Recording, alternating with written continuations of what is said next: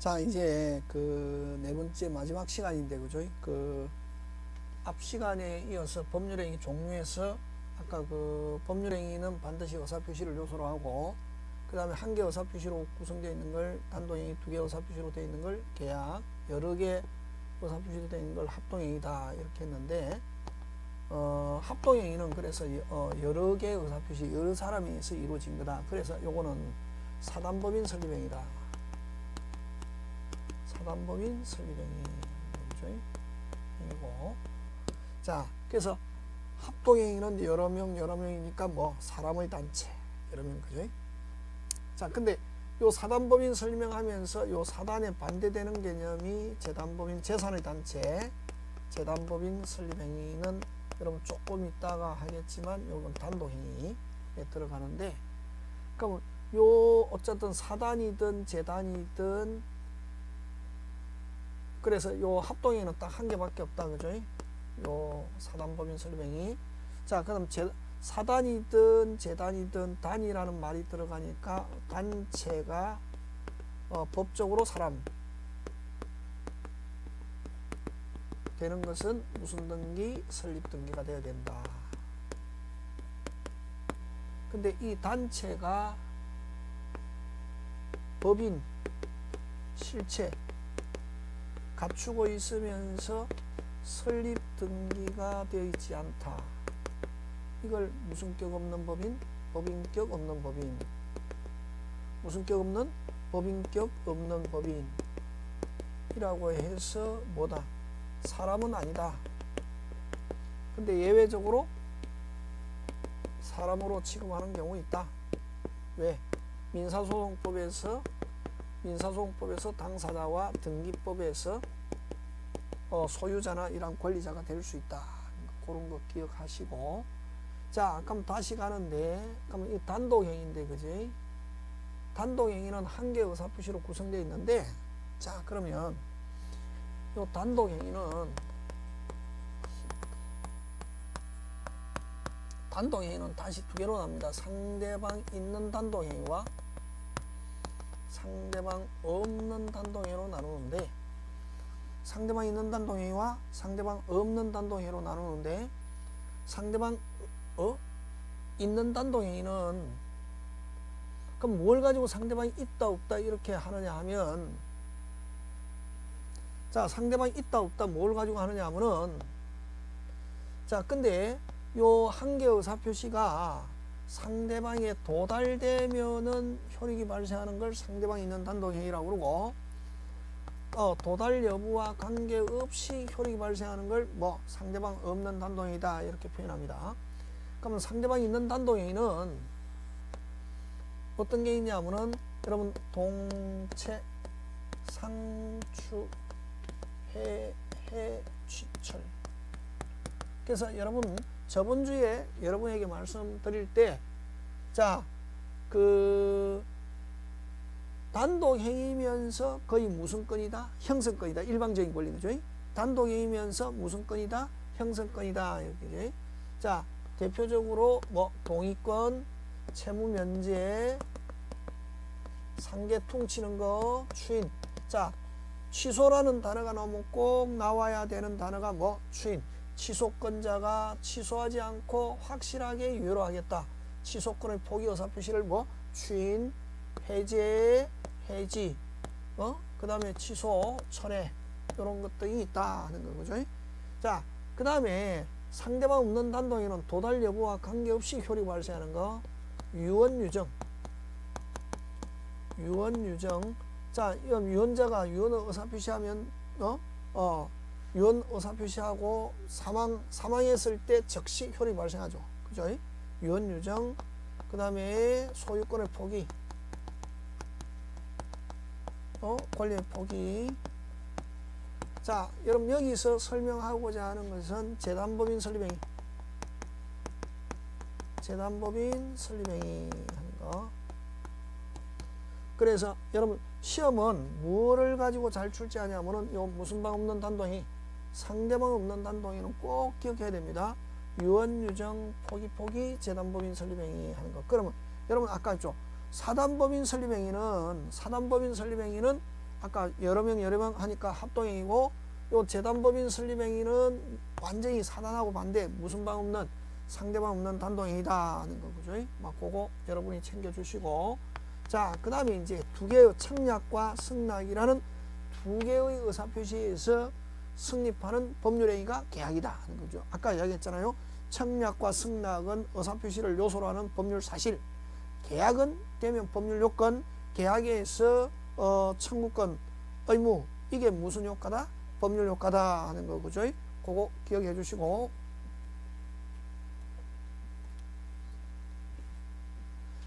자 어? 계약 그죠? 자 근데 요 계약에는 여러 가지가 있는데 이 계약에는 이런 전형 계약과 무슨 계약과 전형계약과 비전형계약으로 나눕니다. 자, 전형계약과 비전형계약은 뭘 가지고 전형계약, 비전형계약 나누냐 하면 민법에 민법 채권편에 규정이 있는가? 민법 채권편에 규정 있으면 전형, 민법 채권법에 규정이 없으면 뭐 비전형. 그럼 민법 채권편에 규정이 있는 거 몇 개? 15개 한 거. 그럼 그 외에는 전부 다 무슨 계약이다? 비전형 계약이다. 이렇게 합니다. 자, 그러면 여러분 그죠? 그 전형 계약은 여러분 다음에 또 하겠지만 그냥 지금은 어 기초 인문이니까 자 전형 계약 14가 아 15개가 있는데 매정교 사소임 현화 고도 조위임종. 그 다음에 이행계약. 옛날에는 여러분 14개 했는데 한 5년 전에 요 여행 민법 개념 여행계약이라는 걸 추가해서 15개 자, 그러면 여러분 여기서 우리 시험에 나오는 것은 매매와 교환과 임대차 요 세 개만 나온다 했습니다. 그죠?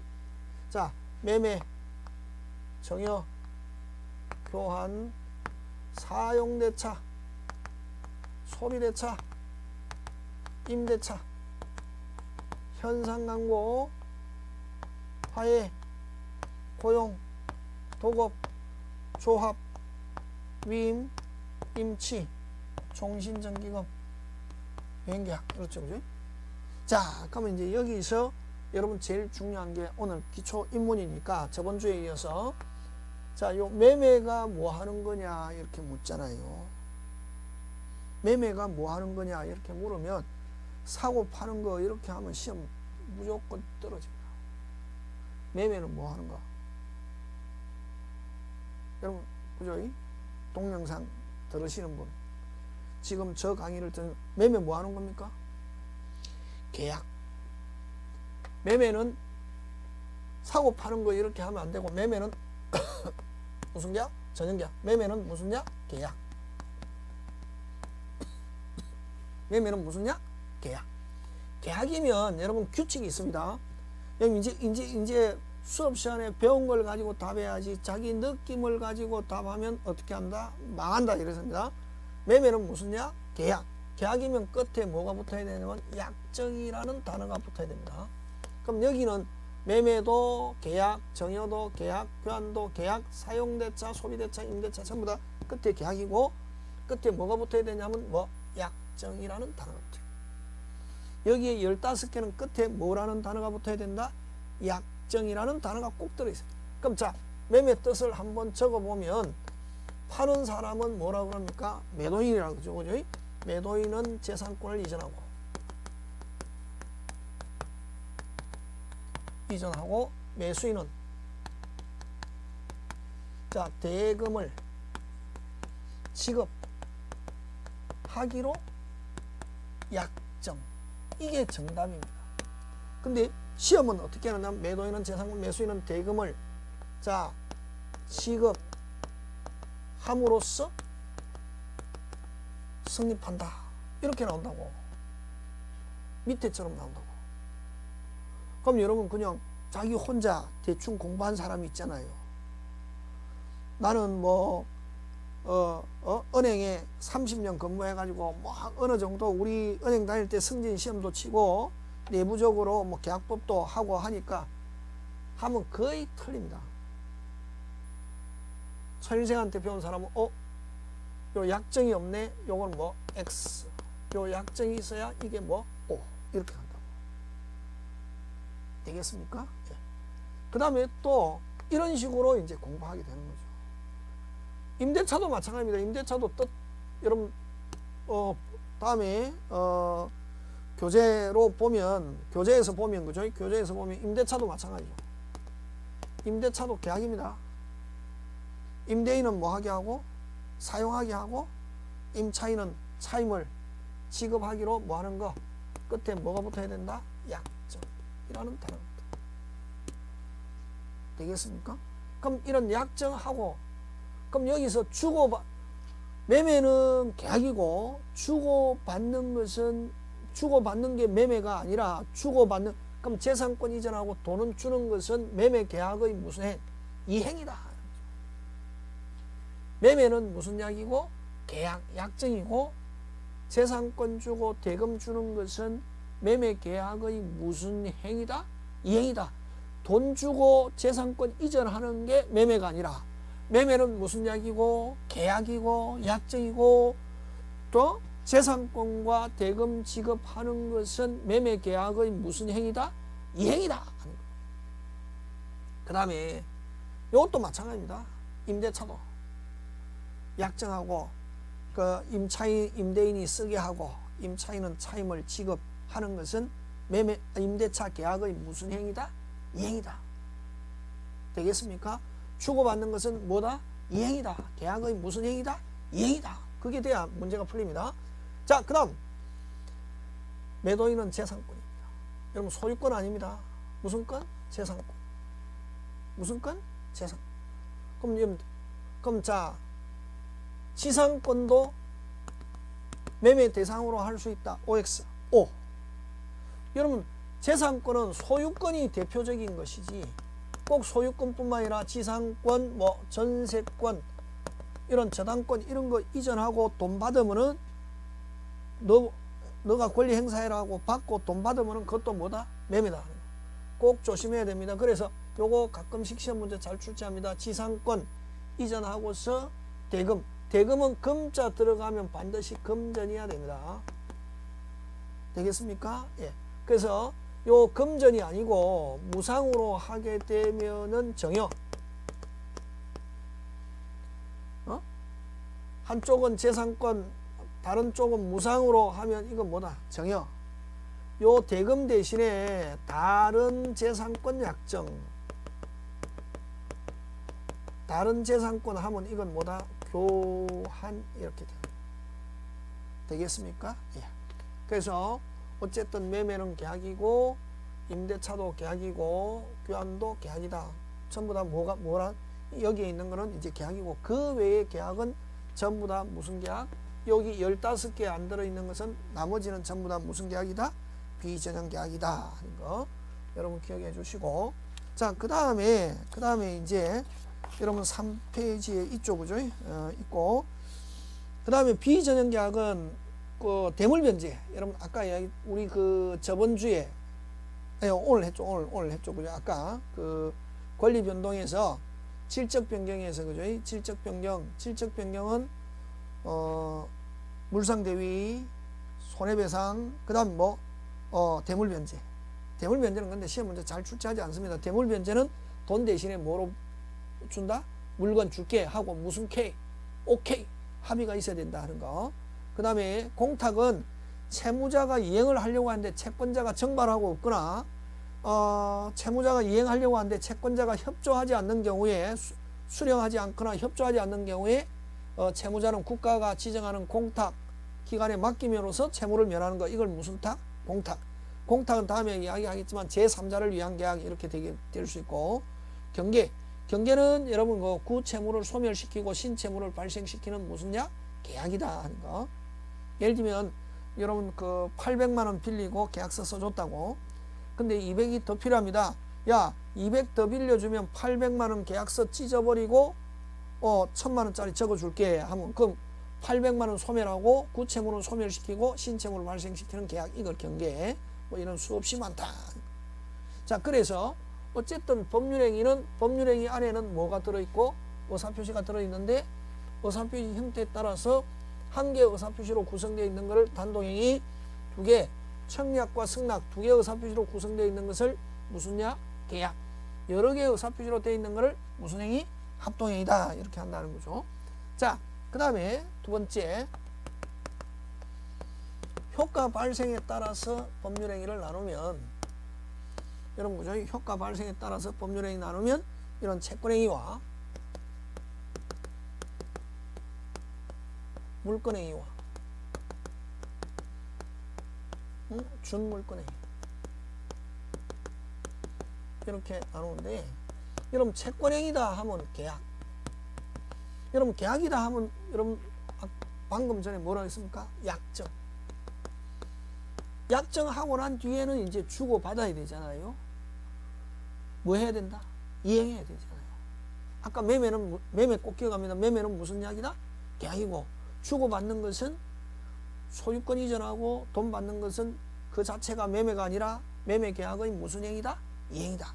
그래서 이 채권 행위는 계약, 그래서 채권행위 찾아라 하면 아까 계약, 매정교, 사소임, 현하고도, 조유임종 하고 이행계약, 그 15개.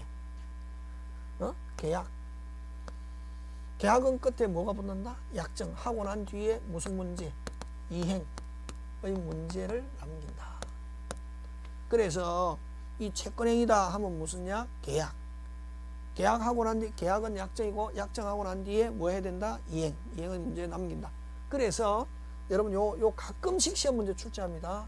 요 채권행위를 계약을 다른 말로 의무부담 행위다. 이렇게. 그래서 여러분 뭐 학원에서 모의고사 치거나 이런 거 할 때 굉장히 많이 나옵니다. 의무부담 행위인 것 하면 뭐 찾아야 된다? 계약. 의무부담 행위인 것 하면 뭐 찾는다? 계약. 그 다음에 이제 물건행위인데 물건행위는 등기. 부동산은 등기, 동산은 인도, 물건, 어? 어, 인도를 가리키는데, 그러면 여러분 부동산은 등기했다? 동산은 인도했다? 부동산은 등기, 동산은 인도했다? 뭐 할 게 없다? 이행할 게 없다. 그래서 요는 이행의 문제를 남기지 않습니다. 자, 근데 여러분 준자 붙으면 무조건 꼭 신경 써야 됩니다. 주는 요 중물권행위는 물건이 아니면서 물건 이외의 이행 문제 남기지 않는 것. 이걸 중물권행위라는데 중물권행위는 여러분 채권양도 무채장권 양도 채무 면제. 여러분 채무 채무 면제는 누가 합니까? 채권자가 아까 채권자의 단독행위라 했잖아요. 채권자가 야 돈 안 갚아도 좋다. 하면 그걸로 끝나버는 거지 뭐. 이행할 게 없잖아요. 그 다음 채권 양도도 마찬가지입니다. 갑이 을에게 100만 원 받을 거 있다. 그럼 받을 권리가 있는 사람을 채권자 이행해야 되는 사람 채무자인데 갑이 친구 병에게 야 나 을에게 100만원 받을 거인데 내 대신 너가 100만원 받아라 이걸 채권 양도라 합니다 채권 이전하는 걸 채권 양 그럼 이 이전 받은 사람을 양수인이라고 그러니 그럼 양수인이 채무자에서 가서 받고 안 받고 누가 알아서 하고 양수인이 알아서 하고 이 채권자 이 양도인과 양수인 사이에 야, 내 대신 너가 받아라. 무슨 K, 오케이 하면 그걸로 끝나는 거지. 자기들끼리에서는 무슨 K만 하면 끝난다? 오케이. 요거 양도, 양도, 채무면제 요세 개. 꼭 기억해. 자, 그 다음. 그 다음. 근데, 깜짝, 여기 물건행위와 중물건행위는 요 이행의 문제를 남기지 않는다. 이걸 뭐라고 하냐면 처분행위다 이랍니다. 그래서 요거 잘 됩니다. 처분행위가 아닌 것 하면 채권행위 계약, 의무부담행위, 의무부담 채권행위 계약이 아닌 것 하면 뭐 처분행위 요거 잘 냅니다. 그래서 주로 이제 그 일반 학원에서 모의고사 칠 때 주로 41번 첫 번째 문제 잘 낸다. 의무부담 행위가 아닌 것 하면 요거 찾는 거 물권행위와 중물권행위 처분 행위가 아닌 것 하면 요거 뭐 채권행위 계약 어 의무 부담 행위 알겠습니까? 예, 요거 자 그러면 이제 여기서 문제가 되는 게 여러분 맨 마지막에 있죠 그죠? 그 오늘 마지막 내용인데 별표 무조건 시험 문제 랭킹입니다. 천일생 특허고 자 무권리자의 처분 행위는 무효다. 무슨 권리자? 무권리자의 처분 행위는 무효다. 무권리자의 무슨 행위? 처분행위는 무효다. 그럼 여러분 여기서 무권리자가 중요한 단어가 아니고 끝에 처분행위입니다. 무슨 행위? 처분행. 처분행위니까 처분하려면 처분권이 있어야 되는데 처분권이 없는 자가 처분행위 하면은 유효 무효? 무효. 예를 들면 갑 소유 부동산을 갑의 부동산을 누가 어리 갑의 뭐 없이 동의 없이 병에게 등기 등기는 처분행위잖아요. 물권행위잖아요. 처분행위 해주면은 유효 무효? 무효. 근데 밑에 게 중요하죠. 무권리자의 채권행위 무권리자의 의무부담행위 의무부담행위는 그대로 뭐하다? 유효하다. 자, 요거 굉장히 중요한데 그럼 요거는 요 대표적인 게 어떤 게 있냐면은 요 대표적인 게 어, 타인 소유. 물건의 매매. 현존하지 않는.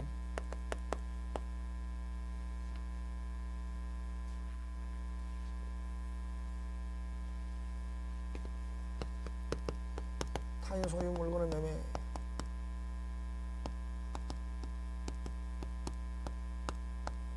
현존하지 않는